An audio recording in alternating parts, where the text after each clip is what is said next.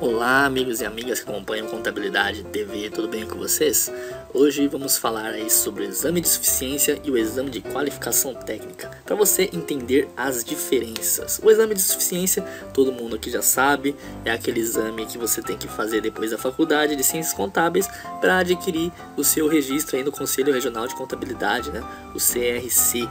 Agora vamos falar também sobre o exame de qualificação técnica, que muitos aí não conhecem, mas pode ser que muitos tenham interesse. Vamos ver a diferença, vamos falar um pouquinho sobre cada um deles.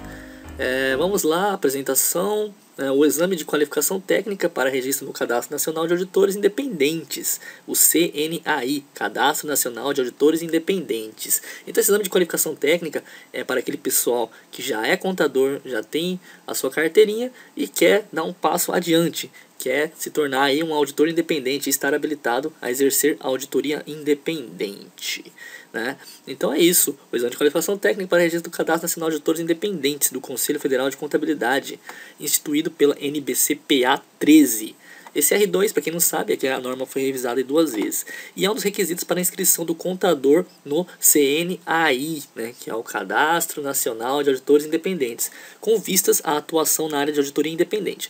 O objetivo deste projeto é estimular o aperfeiçoamento do contador na execução do trabalho a ser desenvolvido na área de auditoria independente. E para isso, o exame tornou-se um dos requisitos para a inscrição do contador que pretende atuar no mercado de valores mobiliários.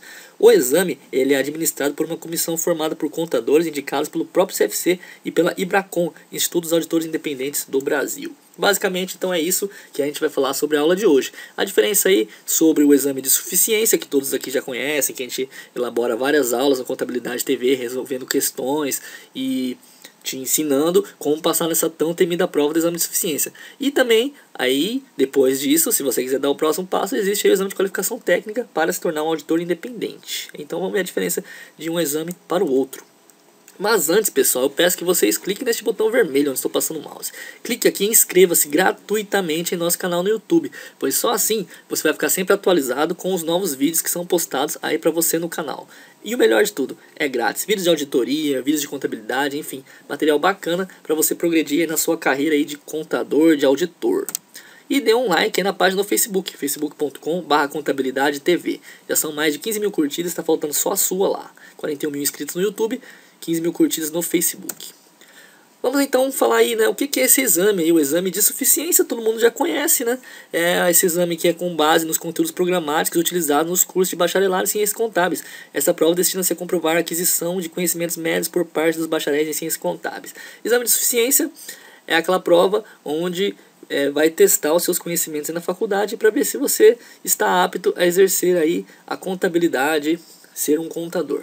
E o exame de qualificação técnica são as provas aí de qualificação técnica geral, específica para a Comissão de Valores Mobiliários, né? Tem uma prova aí para a CVM, Comissão de Valores Mobiliários, tem a prova específica para o Banco do Central do Brasil, né, o BCB, e tem a prova específica para a Superintendência de Seguros Privados, a SUSEP.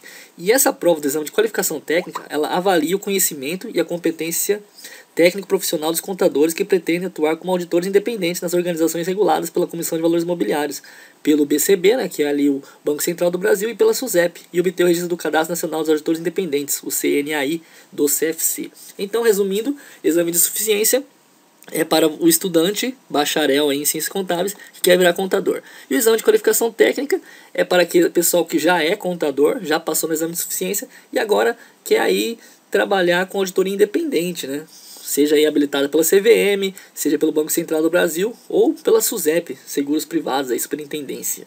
Então depende muito de onde você quer entrar aí. Para isso você tem que estar habilitado e passar no exame de qualificação técnica, que é uma prova aí que vai muito semelhante ao exame de suficiência, com 50 questões, é, mas assim, a maioria das questões são sobre auditoria, é, tem o código de ética também aí focado no auditor.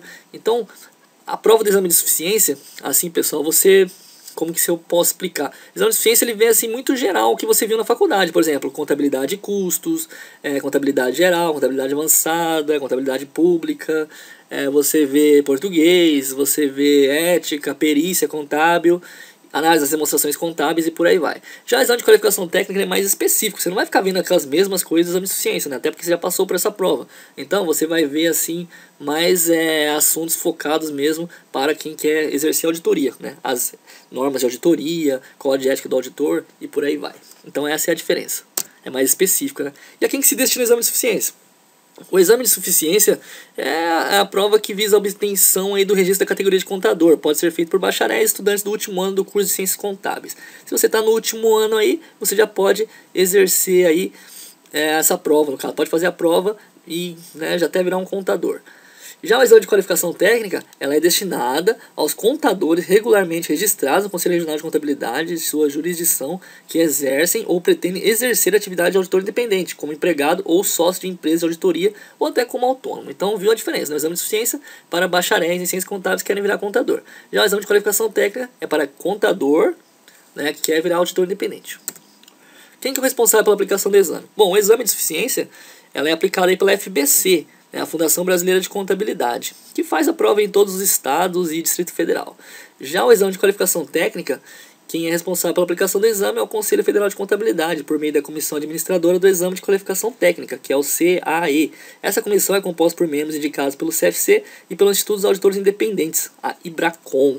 Belezinha? Então, esses são os responsáveis pela aplicação do exame e com que frequência acontece o exame e quando as provas são aplicadas. O exame de suficiência ocorre duas vezes ao ano, como vocês já sabem, né? tem duas vezes por ano, sendo que a primeira edição é aplicada preferencialmente no mês de março e a segunda preferencialmente em setembro. E a primeira edição de 2015 terá aplicação nas provas para bacharéis contábeis dia 22 de março. Essa informação aqui é uma informação antiga, né? Todo mundo sabe que o exame de suficiência acontece aí é, duas vezes ao ano, preferencialmente em março e em setembro. Então você tem duas chances por ano de fazer exame de suficiência. Já o exame de qualificação técnica, ele é aplicado aí pelo menos uma vez por ano. Às vezes é mais, às vezes é menos. Geralmente é uma vez por ano, viu, gente? Teve ali a edição de 2016, publicado no mês de março, prova corrida no mês de agosto, enfim, fala umas informações aqui. Mas geralmente exame de qualificação técnica é uma vez ao ano. E exame de suficiência é duas vezes ao ano. Realmente, tem que ficar de olho aí no site do CFC, né, Conselho Federal de Contabilidade, para estar atento. Mas, regra geral, duas vezes ao ano exame de suficiência, uma vez ao ano exame de qualificação técnica. E quais matérias são cobradas no exame? Eu já falei lá atrás, né, que é, no exame de suficiência cai aí contabilidade aplicada ao setor público, contabilidade gerencial, controladoria, noções de direito, matemática financeira, estatística, teoria da contabilidade, legislação, auditoria contábil, perícia, língua portuguesa, entre outras matérias aí que você vê na faculdade mesmo. E, né, esse é o exame de suficiência para os bacharéis em ciências contábeis. Já o exame de qualificação técnica cai a legislação de ética né, profissional, princípios fundamentais de contabilidade, normas brasileiras de contabilidade, é, prova específica da tua auditoria, instituições reguladas pela CVM, língua portuguesa aplicada, uh, princípios fundamentais de contabilidade, mas assim, mais focado para o auditor meu, mesmo, viu gente? Mas aí as normas de auditoria é um negócio mais assim, focado mais pro auditor mesmo, então é um negócio mais específico, né? Estuda bastante auditoria se quiser fazer exame de qualificação técnica, lê as normas aí de auditor e foca nisso aí. Claro, também tem que ter conhecimento contábil, né? Porque senão você não consegue responder as questões. Tem que ter conhecimento de contador, mas né, é uma coisa mais específica. Vou trazer mais questões também do exame de qualificação técnica para você poder ver a diferença. Você vai reparar que exame de suficiência é algo mais assim é, geral, né? E o exame de qualificação técnica é um negócio mais específico mesmo, focado em auditoria. E onde são realizadas essas provas? O exame de suficiência, as provas são aplicadas em 125 cidades espalhadas por todos os estados do Distrito Federal, no Brasil inteiro. Né? Já o exame de qualificação técnica, as provas são realizadas nas unidades da federação onde existem candidatos. Então, é um negócio mais restrito, é um negócio mais... é menor, né? Não é todo mundo que quer virar auditor independente. Já a prova do exame de suficiência para contador é, tem no Brasil inteiro, cada vez aumenta mais o número de candidatos, e então é por isso que tem mais lugares, né? Já a prova é, de qualificação técnica tem menos lugares, uma vez que tem menos candidatos querendo virar auditores independentes. E é isso, minha gente. A diferença básica é isso. O exame de suficiência é para bacharel em ciências contábeis, que quer virar contadores, e o exame de qualificação técnica é para aquele contador que quer se tornar auditor independente. Sendo assim, for alguma dúvida, mande e-mail para contabilidade.tv@hotmail.com. Vou ter o maior prazer em responder essas dúvidas aí. Né? Continue acompanhando os vídeos de de auditoria que é postados aqui no canal. A ideia dos próximos vídeos é continuar com o curso gratuito de auditoria que já está sendo postado. Vou deixar um link aqui para vocês acessar a playlist, resoluções de questões de auditoria também, tanto do exame de suficiência como do exame de qualificação técnica. Continue acompanhando o canal, divulgue para seus amigos aí e sucesso na carreira de contador, de auditor. Que Deus abençoe a sua vida, pois sem Deus não somos ninguém. E siga no Instagram, se possível, instagram.com.br contabilidade ou arroba contabilidade TVI. Muito obrigado, compartilhe os vídeos nas redes sociais e até a próxima. Valeu, fui!